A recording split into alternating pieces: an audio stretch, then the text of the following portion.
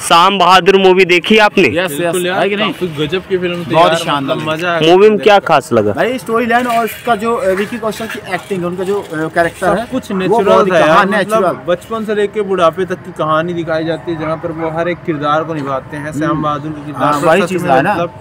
और इसमें किस हिसाब से गवर्नमेंट की वो दिखाई गई है अपनी मतलब चीज़ें प्लानिंग वगैरह और इनको कॉन्फिडेंस की दाद देनी पड़ेगी विकी कौशल की क्या ही नेक्स्ट लेवल काम किया है। यार इतना ज़्यादा स्पीडली लेते हैं गजब का वही चीज़ है ना।